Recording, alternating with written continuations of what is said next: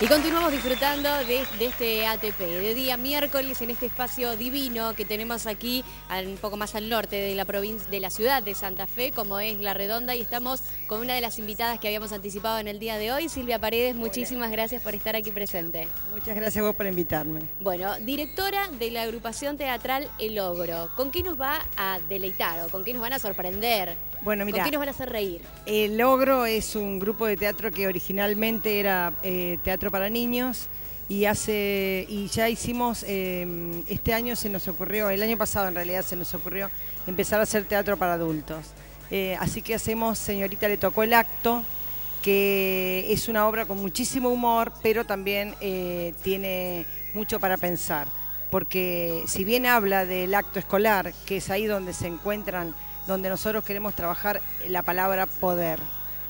Eh, también se ven involucrada en esa palabra el poder que, o la acción de, ese sentimiento del poder que uno siente cuando uno trabaja o cuando uno vive. Entonces en ese poder está la madre también y también está, eh, podríamos decir, la sensación de cuando vos tenés un jefe, y en el acto escolar se ve eso. La, la, docencia en general, cuando le dicen, señorita, le tocó el acto, claro. Es una agarrada de cabeza. Es una agarrada de cabeza. Entonces, con muchísimo humor, este, esta obra está realizada por Débora Lázari, Karina Camaroto, eh, Ignacio Gón y Leonidas Noato, todos docentes. Oh, Entonces ellos conocen el, el paño. Eh, bueno, ahí van a ver mucho humor y van a tener este, van a disfrutarlo mucho. Nosotros hicimos una función de cinco eh, cinco funciones el año pasado, todas a sala, a sala llena, y ahora vamos a hacer eh, cinco más. Porque yo trabajo en la Casa del Maestro, donde también trabaja el grupo Esopo, y yo soy actriz de ese grupo y también vamos a hacer una obra eh, luego de esta temporadita. Empezamos con otra obra que se llama Damas, así que bueno, eh, la Casa del Maestro siempre trabajando por la cultura. Seguro. Más allá de las, de las opiniones de los, de los espectadores que van a ver y que sin duda deben salir muertos de la risa, porque uno además rememora, ¿no? Cuando le tocó vivir y que te decían, a vos te toca de San Martín, a vos te toca de Belgrano, y uno siempre quería ser protagonista de estos actos.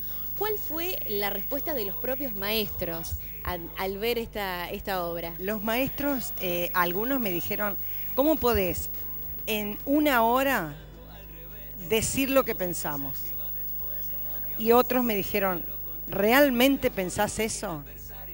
Y algunos directores me dijeron, ¿esa directora soy yo?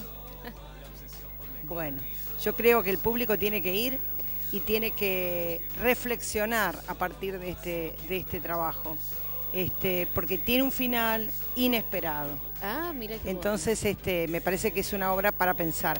Nosotros decimos que nos vamos a divertir, pero también es para pensar. Y hacer humor no es tan fácil. No, no, no, por supuesto. Y, hacer pensar a través del humor. claro, y ahora queremos hacer pensar a través del humor. Así que bueno, estamos muy contentos con este trabajo, ¿no? Seguro, seguro. Así que bueno, los invitamos en la Casa del Maestro todos los sábados a las 21.30 horas. La Casa del Maestro queda en Boulevard Galvez 950, terminando el barrio Candiotti y comenzando el 7 jefe. Perfecto. La invitación entonces ya está hecha para esta obra. Señor le tocó el acto. Vamos a ir a verla y después vamos a ver con quién, con quiénes nos, identificamos, En, este, en este reparto de actores. Muchísimas gracias, Silvia. gracias por, vos por la invitación. Por acercarte hasta aquí. Volvemos a estudio, chicos, con ustedes.